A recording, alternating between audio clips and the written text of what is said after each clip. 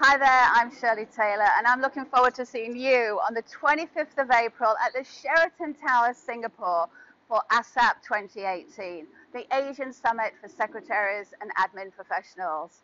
The theme this year is about the essential skills for your future in the digital workplace.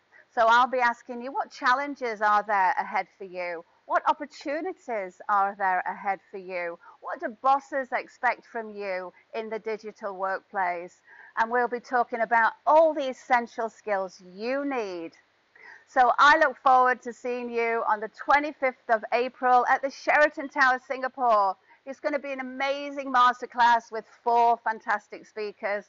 I'll see you there.